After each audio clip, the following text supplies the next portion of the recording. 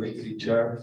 And we need to go on. And the next speaker is uh, Christian Gheorghe.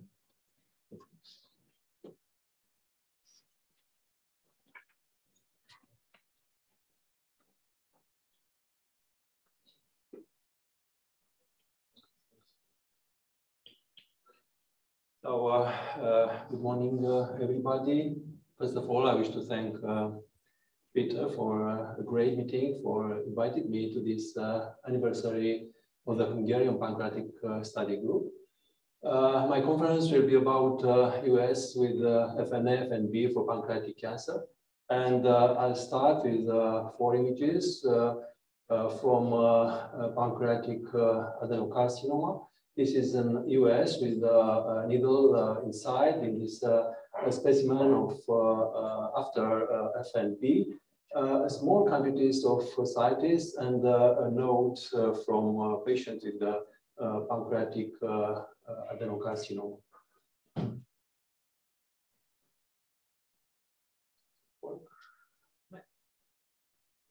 Yes. There are uh, uh, some facts about uh, pancreatic adenocarcinoma, the, the, second leading cause of cancer death by Uh, 2030, but diagnosis only uh, 10-20% uh, of patients are considered considered resectable. In patients with pancreatic adenocarcinoma and R0 resection, five-year survival is only 20%. And uh, uh, patients with uh, metastatic PDAC have a median overall, overall survival about 12 months.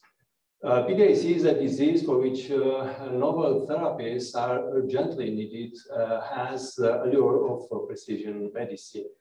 This suggests that the adoption of precision medicine can, be, can have a substantial effect on survival in patients with PDAC and the tissue still remains uh, the issue. And this is algorithm for evaluation and management of suspected uh, uh, PDAC uh, from uh, ESG. And uh, you can see that uh, EUS uh, is uh, important after, after CT.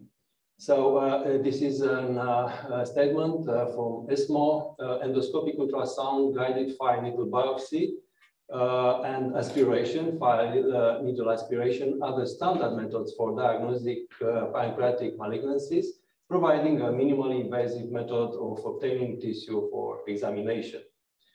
When to get uh, EUS-FNA uh, for resectable disease, uh, this is an important question for neoadjuvant chemotherapy probably in the future borderline resectable disease always before neoadjuvant uh, treatment, locally uh, unresectable for chemotherapy, and uh, uh metastatic also for uh, chemotherapy.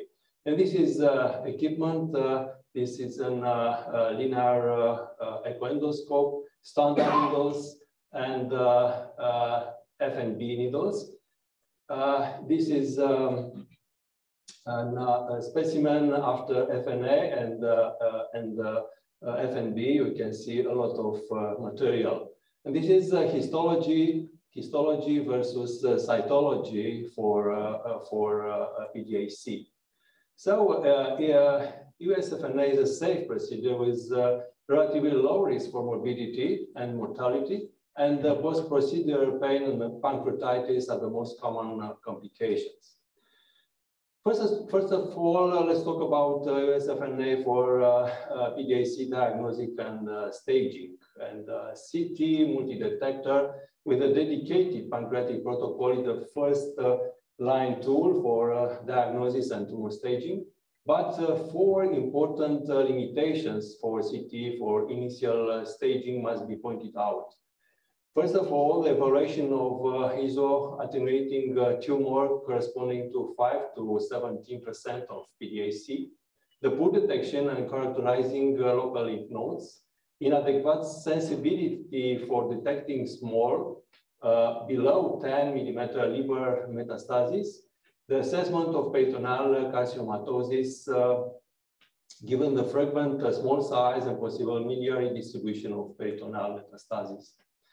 So uh, diagnostic uh, PDAC, differential diagnosis and assessment of small below two and ill-defined uh, iso-attenuating uh, tumors. This is an uh, PDAC 8 millimeter detected by EUS uh, and uh, non-visible with CT.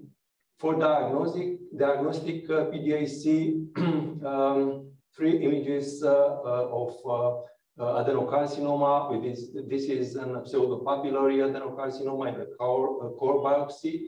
This is a stromal reaction uh, with this in a cell block uh, of uh, uh, adenocarcinoma and the cytology suggestive for adenocarcinoma.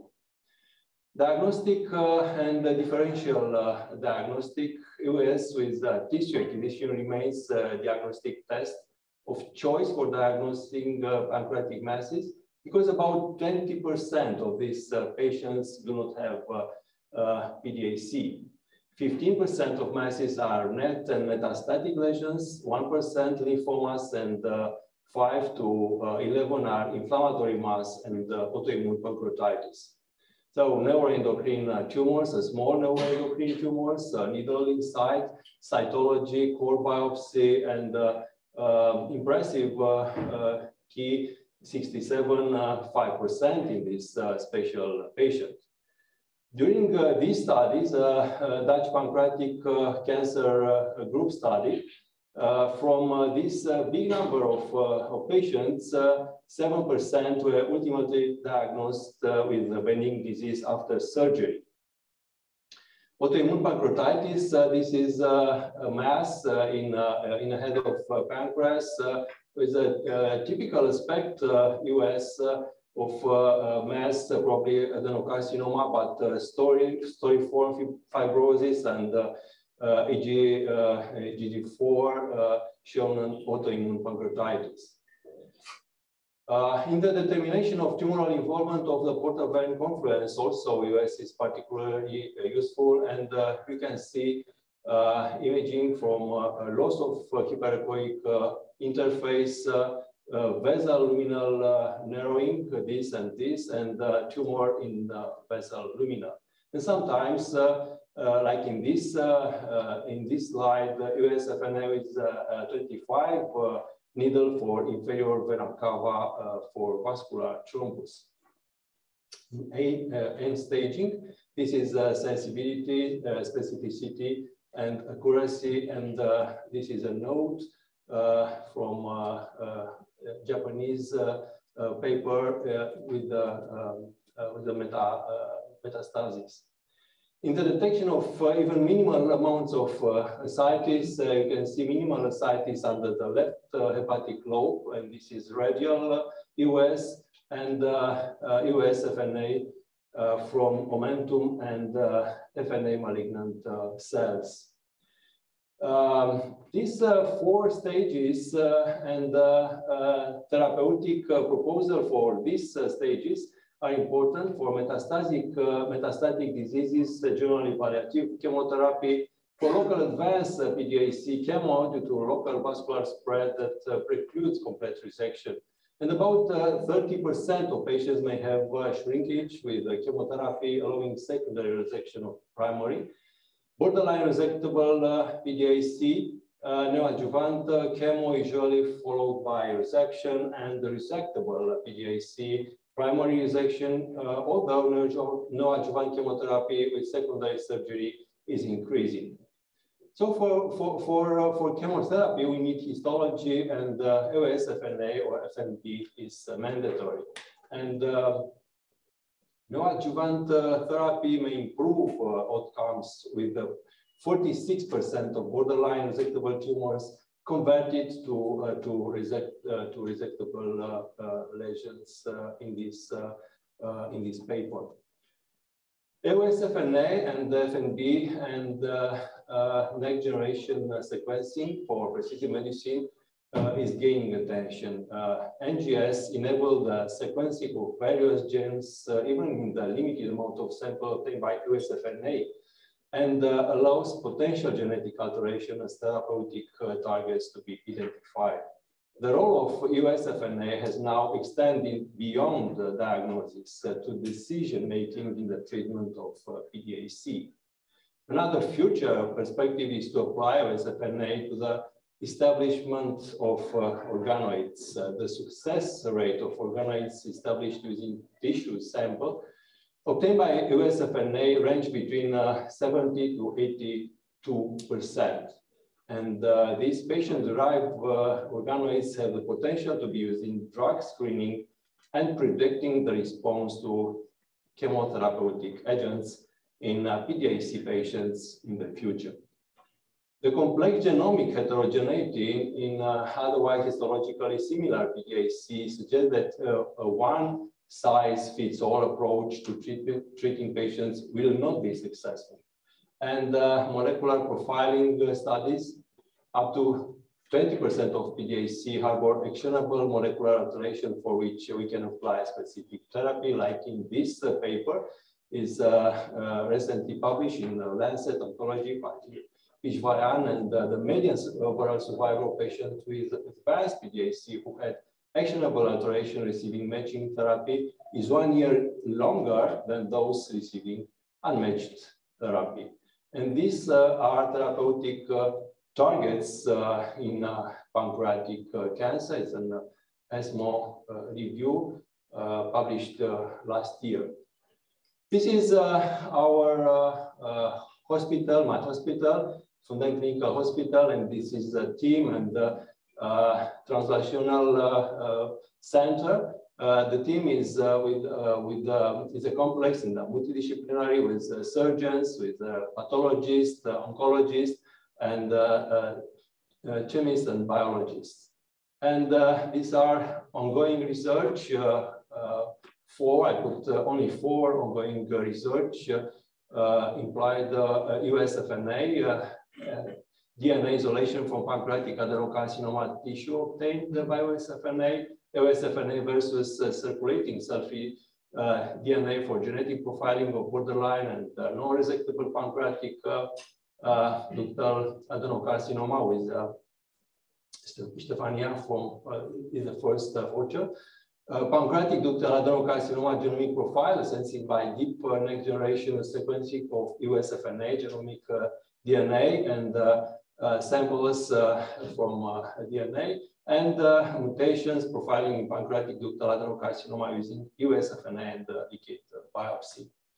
So this is a, flow work uh, suspected, uh, suspected uh, PDAC, blood sampling, EUS-FNA, histological confirm, confirm PDAC, DNA extraction with uh, in, in, the tissue and, uh, and plasma, uh, DNA establish quality and NGS patients with adequate uh, DNA uh, yield. And uh, these are genetic variants detecting in FNA DNA. In conclusions, and conclusions are EUS FNA and FNB should be done uh, to provide the most precise diagnosis possible to maximize the chance of identifying uh, distal metastasis, to provide appropriate material to optimize uh, neoadjuvant therapeutic uh, regimes, uh, and uh, all of this uh, they may be uh, considered. Thank you very much. Thank you, Christian. Every every sentence contains informations. Thank you very much. It was a very impressive presentation. Questions?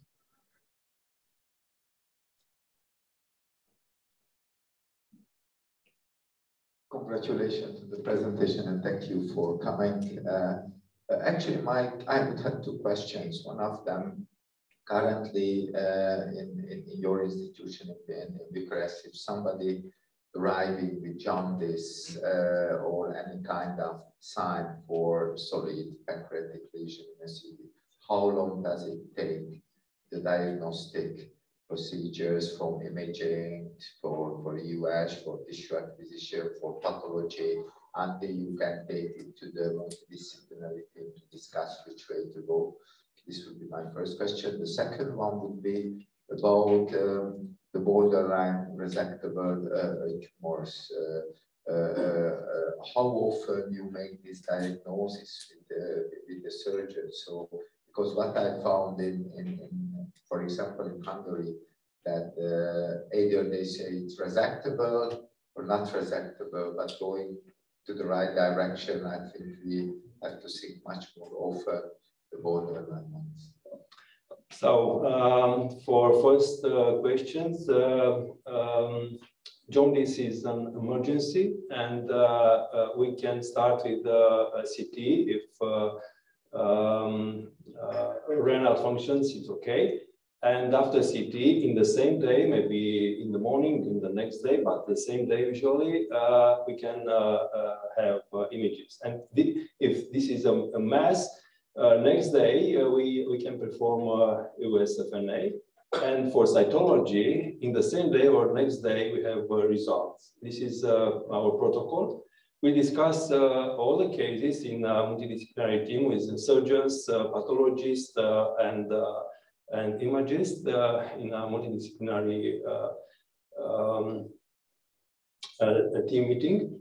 And about, um, so in next days, I don't know, usually on uh, on Tuesday, we uh, is a, is a multidisciplinary team, but uh, Uh, if it's an emergency, we'll discuss uh, earlier. And uh, about uh, borderline, also discussion is in a multidisciplinary team. And our oncologists are very enthusiastic and we are uh, send the patient uh, it's in a borderline to uh, to chemotherapy. And about uh, percent, I don't know, maybe half of patients are borderline Uh, from uh, uh, resectable patients. About. Thank you for the nice presentation. Professor Gheorghe is my mentor. I'm really lucky to work with him in Bucharest. A short comment, maybe we are talking more and more about liquid biopsy, circulating biomarkers, issue is the issue. Will we be able to rely on them or what is your position on this? We stick with the tissue? I think that uh, liquid biopsy is the future for uh, for uh, biomarkers, and uh, uh, sometimes uh, we we did not the same um, results liquid biopsy with with DNA in the tissue in, in our experience.